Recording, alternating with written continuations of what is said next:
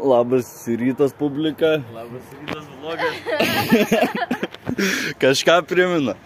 Gerai, jau išinu iš, iš Airdo su Atilijos. labai, labai godžiai sako, nebesustiksim jūs tai. Okei. Okay. Tai va jau varau. Ant tilto? Blemba tikrai nelipsiu per kalną. Ir kas labai keista, kad manęs atvarė visą valandą anksčiau pasim. Ir dabar tiesiog labai labai nustebau. Tai tik atsikėliau šmutkės, susikraujant sekundžių, čia einu dar per akmenis, nes per kalną nelipsiu, slidu labai.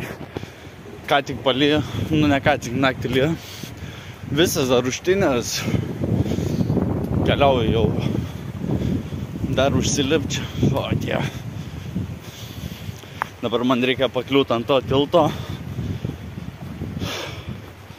Ant to tilto virš, virš stovyklavėtis. Kaip gera ant saulutės užėjti. Šilta. Gerai.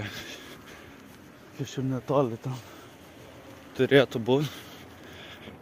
Jaučiuosi ant tiek už, užtinės, kad aš net neturiu ką pasakyti. Atsikėliau čia vos, ne vos biškį mėgau per tą lietų. Jo, prieš išvardant tokią naktelį gerą buvo. Taip gerai įsimėgau, kad aš tyliu. Važiausiu tavo būsiu manęs pasimti. Tai aš šoksiu į mašiną, nuveš iki miesto, dar visą dieną mieste. Tai nežinau, parodysiu gal kažką.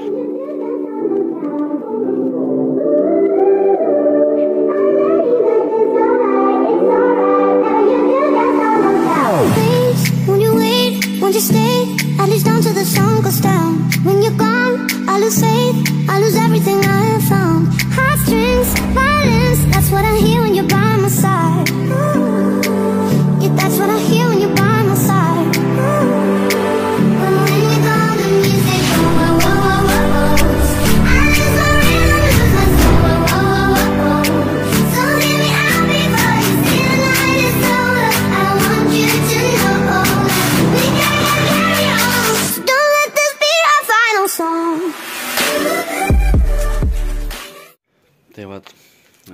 mieste kaip ir, galima sakyti ir taip.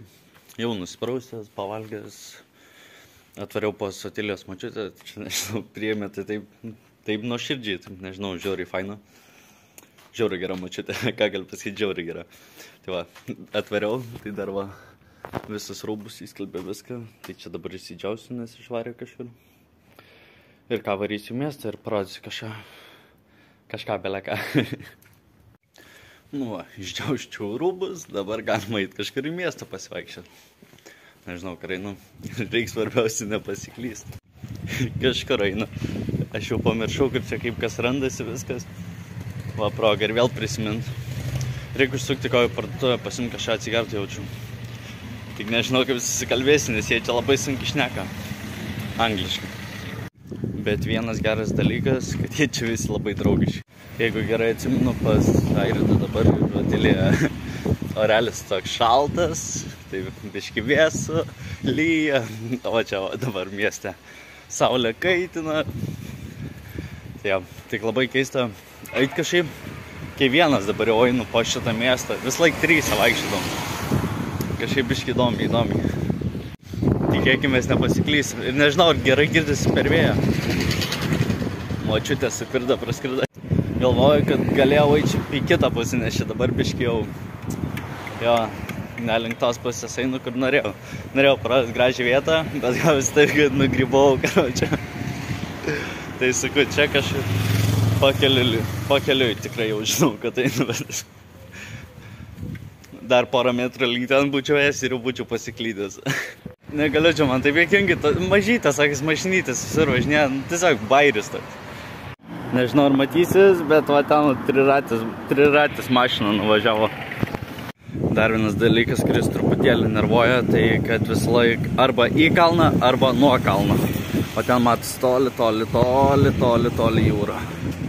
Nežinau, ar matos, va ten. Tai galvoju, iki jos nužygiauti. Vis tiek neturiu kažkaip ką labai kažkokios didelės veiklos. Ai, teisingai daryk, užsakti, nusipirkti atsigerk kažką. Tai jo, manau, keliaujam ir ieškam parduotuvės. Užsukau į tą va mažą krautuvėlę štai čia ir pasiėmiau Coca-Cola. Telefone net labai daug procentų, tai nežinau kaip viskas bus. Jau čia reikia neužsibūt, varyt atgal po to ir pasikraut viską, nes po to bus raga, nors jis toks truputėlį, jeigu nepasikraus. Aišku, galėsi ten oro uoste kokiam ar dar kažkur pasikraut, bet nemanau, kad tai bus labai kažkokia didelė ši problema. Dabar taip mastau, galvoju, ar man verta eiti iki tos jūros, nes čia vėjas kyla, to nieko nesigirdės, nelabai ką nufilmuosiu. Tai jo, nebent šiaip galiu pafilmuoti kažkokius kadrus, tada uždėt, Projeto Música Rios Direct. My life be like, wow. yeah. My life be like.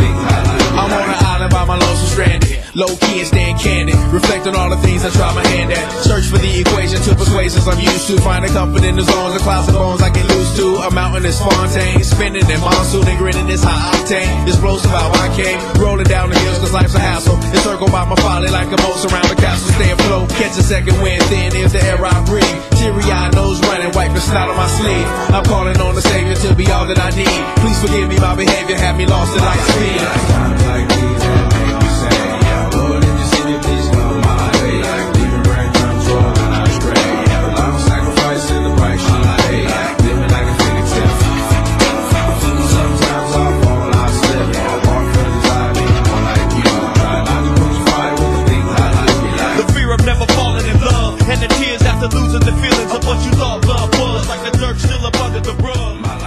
Ai, ai, ai, ai, ai. Ai, ai, ai, ai, ai. Gracijas. Tai va, atsisėdau, pasiėmiau Coca-Colos atsigą. Labai didelį kažkokį davė, net nesupratau dėl ko. Bet šalta, žiauri gerai. Galvoju, kad taip neliūdna būtų vaikščiant. Reikia žmonėm duoti pitakus, kai jis pitakų prikabindavo, jis kažką to vis tiek aš čia veiksiu. Iki jūros tai jau neįsinas ten jau mačiau aš tą jūrą, bet galvoju, ai, čia dar nuo to kalno ir vėl į kalną, ai, tingi. Ne šiandien, kitą kartą. Hi.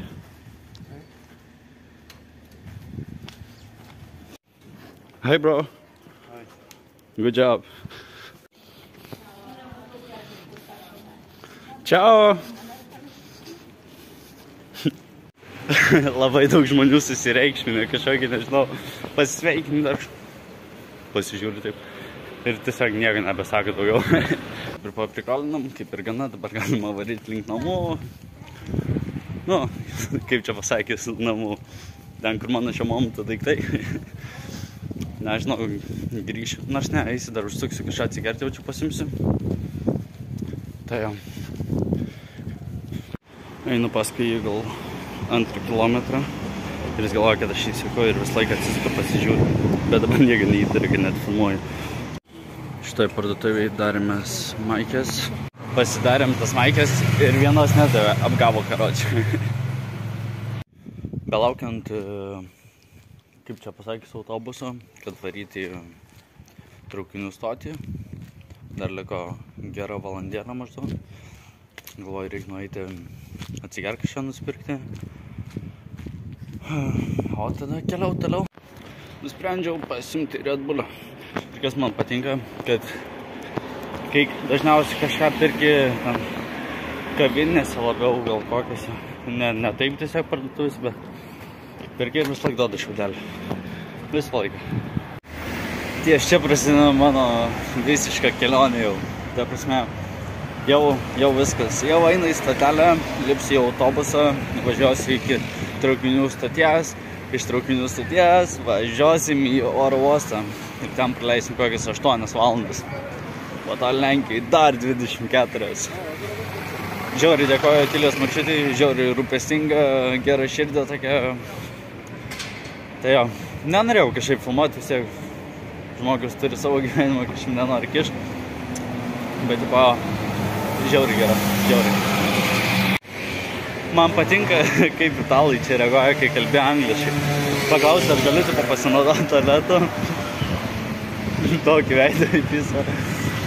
Nu, žiauri, žiauri, to prasme, jie taip nemėgsta, kai jisai angliškai kalbi. Nu, aš itališkai tai nepasakysiu, galiu paklausti, kur, žinau, kaip paklausti, bet tai man paaiškins, jeigu ten kažkur užslėpta, tai žinai, tikrai nepalidė. Bet šiaip, šiaip visai nieko. Aišku, leist leido pasinaudoti tualetu, bet taip žiūri visi pikti, kažkaip nežinau. Nemėgsta jie užsieniečių, gal kažkas tokio nežinau. Jo. Vienu žodžiu, šiaip turėčiau važiuoti su kaukę, bet nesigaus, nes aš noriu filmuoti, noriu kalbėti ir nieks vis tiek nesupranta. Aišku, vis supranta, jeigu kas turi šiaip kaukę. Čia autobusas ne, ne kokias ten tai, nežinau. Bebaimiai kažkokia. Šį čia kartą praleidau gal nežinau kiek laiko, bet čia buvau tikrai nemažai. Ką atvažiavau į traukinių stotį, šitų va, autobusų, šitų žvėrių. Dabar man liko ket, 46 minutės iki traukinio. Tai ką dabar nežinau, kažką reikia nuveikti, pavaikščiot. Ką aš daugiau veiksiu, nežinau. Ką valandą čia mastau veikti, o pagalvojus, ką aš veiksiu val... parą laiko Lenkijai. Arba 8 valandas tiesiog peskarį. Tai nežinau, nežinau. Kelionė, kelionė, kelionė. Ir dar vienas blogas dalykas, čia nėra interneto. Jo, tai čia nežinau, kaip kas viskas bus. Jeigu neturėsi sotilį, jaučiu kaip susiekti, jeigu labai išsireiktų. Nežinau, žinau, iš kurio kelio bent jau važiuoju, man to užtenka. Iššoks į traukinį, gal traukinį bus koks internetas, o jeigu ir jame nebus, tai oro uoste tikrai bus. Tikiuosi dėl interneto problemų panelė neįsterikuos. Skis skurdingas, skurdingas. Ką galiu pasakyti, nieko nepakeisiu. Turiu dar kai ką pasakyti. Nedirba kasa, tai turėsi traukinį kraučio, pirk biletą. Bet sakė, neturi prašyti brangiau. Žiūrėsim, kaip čia bus, žiūrėsim.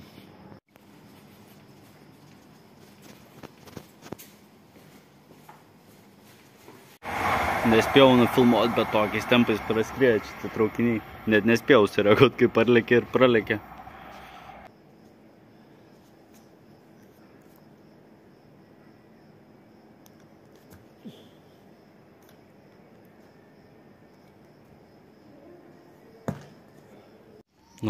Va, Otilijos mačiutė. Sako, ar- arbatėlės butelį.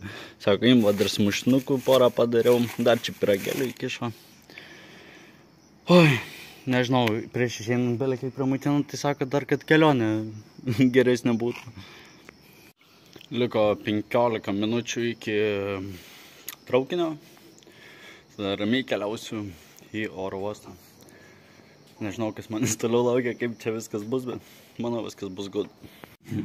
Pataikiau į tą traukinį, viskas gerai, keliaujam toliau. Aš paklausiau lipęs, ar tikrai peskarą. Bet jo, važiuoju link tos pusės, pagaliau finalai. Tik vienas dalykas nervuoja, kai važiuoju su traukiniu. Ausis labai užgula. Nu, šį čia nežinau, per tos kalnus, per tos tunelius. Kažkaip čia chirurgas idėja, galima gročiai springt pradėjo, kiek žvelgiau. Gročiai, tema, tema. Susižvalgiam, karočią, pažvelgiam, pažvelgiam, toliau galim nusipoti.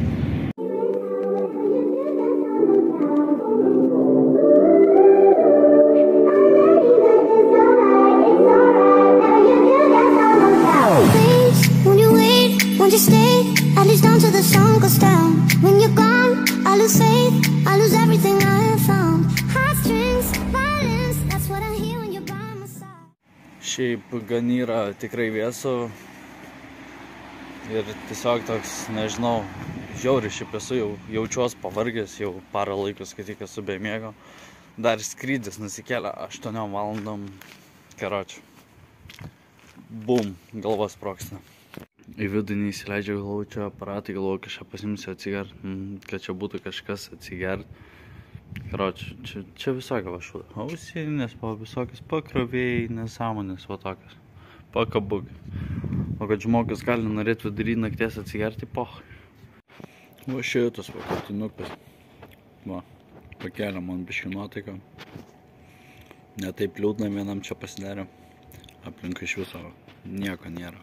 Visiškai. Tuščia, tuščia. Nei vieno gyvo žmogaus nematyti. Dabar yra po 4.20 beveik. Jaučiuosi žiauriai, žiauriai pavargys, žiauriai. Tik tiek gerai, kad įėjau jau į oro uostą, kaip ir viskas ok, taip atsidarė, ar nežinau. Na jo, dabar nežinau, bandysiu telefoną pasikrauti, bet čia žiūriu, kad kažkaip problematiška. Ir ko dabar tikrai labai norėčiau, bet nebaisi manoma šiuo momentu gauti, nes yra uždaryta. Atsigerti šiaip žiūrį norėčiau. Bet nieko, tai reikės biškai pakentėti. Tai miega noriu baisiai, net nežinau, karočią.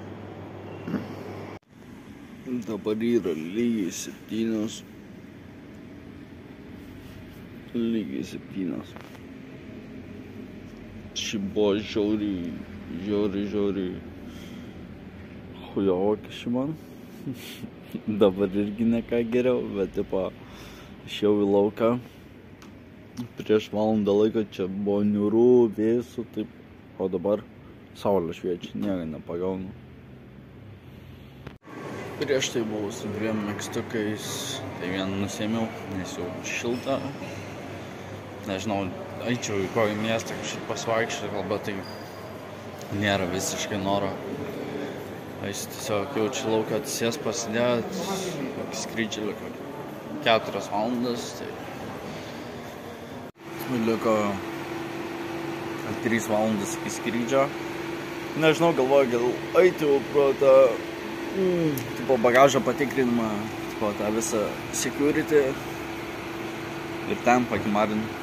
Nors nežinau, ar apsimoka dar 3 valandas. Tai valandą dar galėčiau čia kažkur pakimarinti, o po to keliauti, praeiti viską, užsidėti Aš ant tiek esu neįsimegojęs, kad tik dabar supratau vieną dalyką. Kai sakiau, kad man liko 3 valandas, man liko 5. tai galimai eisi kažkur dabar į miestą, gal kažką pafilmuosiu, kažką paveiksiu. Ką daro žmogaus, kai jis neįsimiega. Na, dabar taip žiūriu, bled, dabar tik po 9. What the fuck, o man skrydis tik po 2. O, eik tu galvoji, ką aš čia šneku, sumaišiau kažkaip, kažkaip ant 12, pagalvoju, ne ant 2. Nu, karočią, keliauju kažkur pasivaikščiot, kažką gal parodysiu. Vėl jaučiu muzikelę ir žiūrėkit.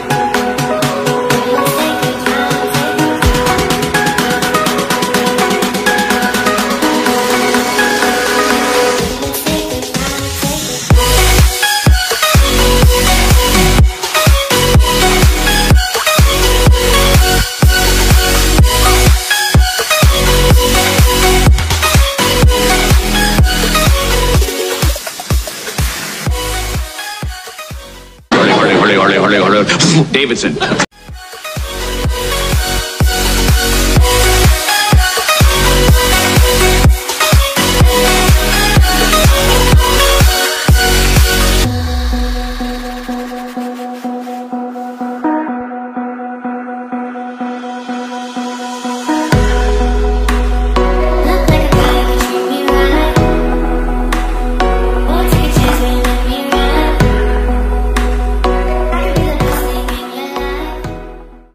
Labai nepatogiai su viena ranka filmuoti, bet pasiėmiau kažkokį sausainį ir Coca-Cola, karočiui. Buvau užsukęs į Lidlą. Blemba ir pašnekėjau. Gerai, nekeliasi. Vieną žodžią iki Lidlą jau 4 km kažkur. Tiesiog išėjau tai pasivaikščioti galvoju, tai dar pafilmavau pišį. Ai, tikrai įdomu, ką aš ten sakau. Sakau, iki Lidlo jau 4 valandas, ne 4 km. Ant tiek jau mėgo trūkumas nesąmonė išneku. Kągi, jau keliauju pro einu link tos patikros. Visą, visą praeis, ten tą security šūdą. O po to bus matyti, kaip bus.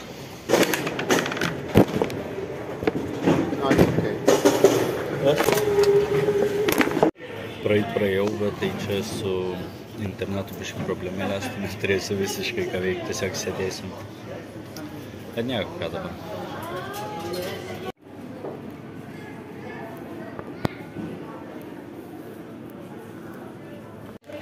Jau nusipirk čipsų, pasiėmiau tų čipsų. Ir toks vairis buvo, paduoda 10 eurų, jinai man paduoda tiesiog 2 eurus pam. Skau, tipo, kaip čia suprasti, panašiai. Skau, tipo, daviau 10 eurų. Ai, 10 eurų. jau bandė, pikis bandė, bandė. Galvoju visą šitą YouTube videokam padalinti dvi dalis, nes labai gausis ilgas. Tai gal, nežinau, padarysiu vieną gal pusvalandžio ir kitą pusvalandžio. Nes dabar kiek esu prifilmavęs, jau gaunasi virš 20 minučių, o dar kelionė nepasibaigė. Tai nežinau. Ne tai, kad nepasibaigė, dar net normaliai neprasidėjo. Tai aš čia kelionė ir prasideda, jau keliauju į lėktuvą.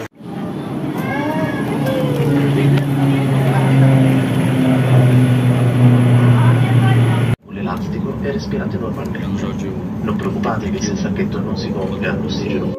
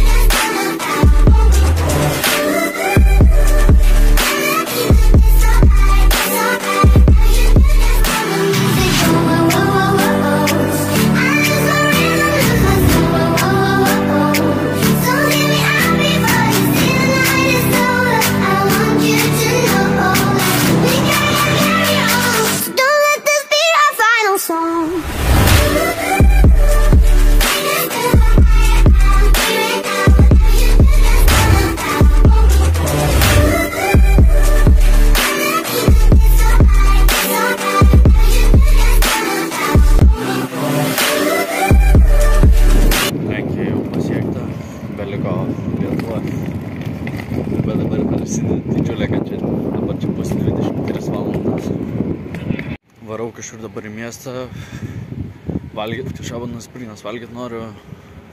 Tai jo. Žinau, čia porą parduotuvių, tai pasivaikščiau. Oro uoste pabuvau tam, kad biški ragelį pasikrauti, nes jau baigė numirti. Tai reikia pasikrauti, kad galėčiau kažką nufilmuoti, jums parodyti. Ir šiaip internetu biški reikia susiekti su, su kai kuriais žmonėm, tai taip ir gyvenam. Bet tas internetas nieko gero. Aš patyliu iš viso. Pabūsiu geras žmogus ir neįsiu per perėjo.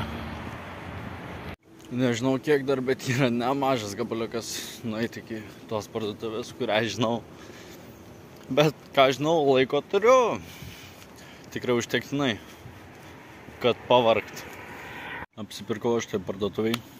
Ir toks kai Italija, išeidamas Gracija, čiau. Pavariau, karočią. Apsipirkau biškį. Nusipirkau kažkokį sumuštinį čia. Po to griebiau sausainių dar kažkokio.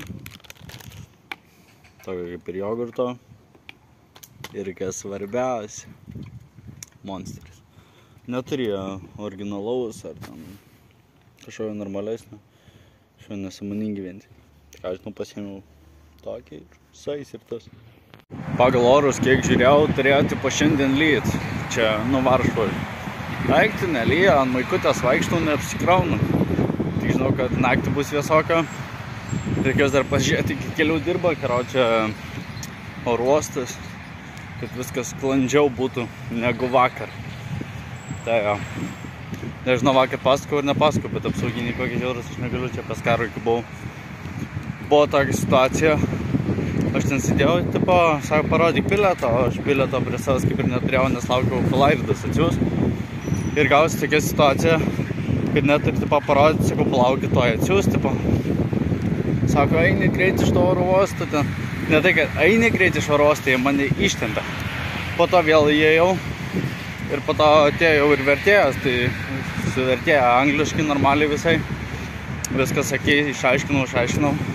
Nu, sako, dar pabūk biški laukia, sako, sako, tada ateik, sako, ir tikrai neprisikabinsiu. Galvoju, nu gerai.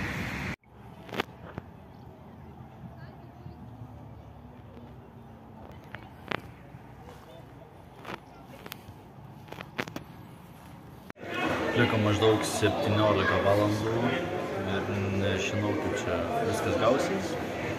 Eilinį sykį. Ne, šį bilietą viską turiu, manau viskas bus gerai. Tik, tik jaučiuosi žiauriai nesmegojęs, valandą laiko mėgau per dvi paras. Antrą energetinę geriu tik per dvi paras labai irgi keista. Bet nieko, po truputį, po truputį. Nebedaug liko. Toj lietuvėlė ir viskas.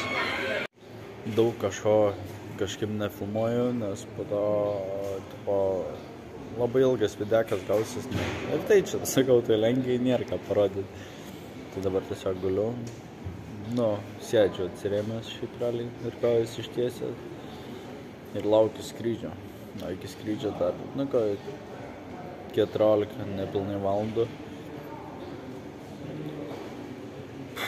Man jau taip miegas traukia. Nežinau, nežinau, kaip iškesiu. Nežinau, ką čia gero nuveikus. Dabar yra po 2.40 kažkur. Nežinau, ką čia, ką, ką paveik, ką padaryti, karočiui. Reikia laiko kažkiek stumti. O dar liko geros 12 valandų. Net tingi skaičiuoti, kiek iš tikrųjų liko. Karočiui. Eisiu toliau atsisėsiu prie ragelio kimarinsiu, editinsiu toliau videką.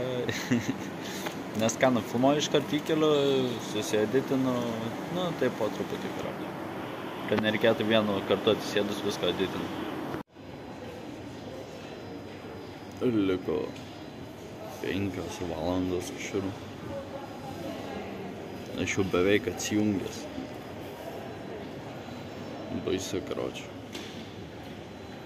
Visi čia su šortukais, su maikutam vaikšto žiūri.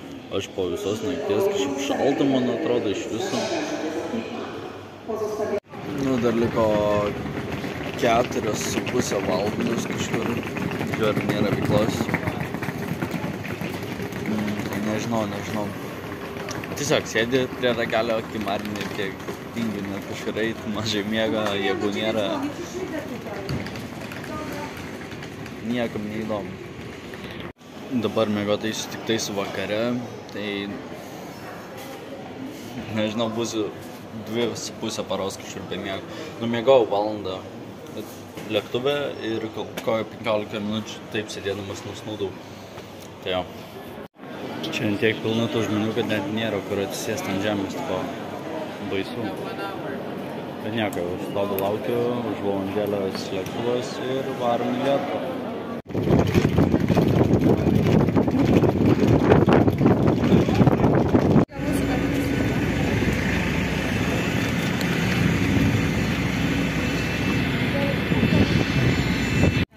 Nuskilo biškai vienas sėdžiu. Tuščio. Vienas buvo atsėdęs, bet perėjai